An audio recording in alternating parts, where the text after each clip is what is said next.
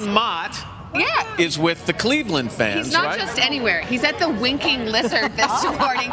And with him is a 104 year old fan, Ron. That's a long time to wait.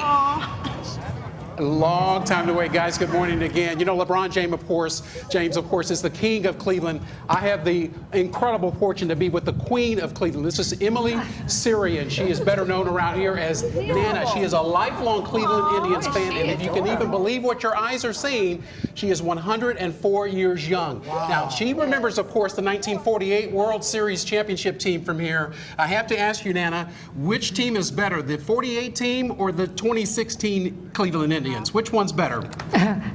Gee, I couldn't tell you.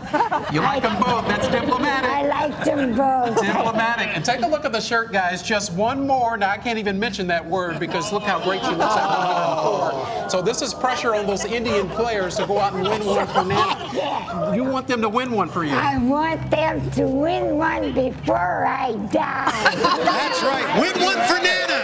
Oh, Nana! We've got four generations here. We've got uh, the daughter, granddaughter, and great granddaughter. So I have to ask you, uh, Lori, tell me about her history with this team and how much she's inspired all of you guys to rally around her and the Indians. Well, she's been a lifelong fan, but when she turned 100, she said, I just really think I'm ready to throw out that first pitch. So she practiced for weeks ahead of time the wind up pitch because she was not going to do the little old lady underhanded.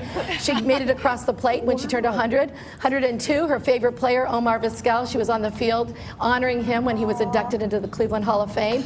And 104, she celebrated in the owner's suite. So she has been the Cleveland champion lady. She is Yeah. amazing. Let me just do one more thing before we send it back to you. Mitchell's Ice Cream has made a sundae for this week for the World Series. It's got it's a Cracker Jack sundae with vanilla bean ice cream, caramel. It's got uh, Indian sprinkles, and I'll give a spoonful here to Nana. Let's send it back to you guys.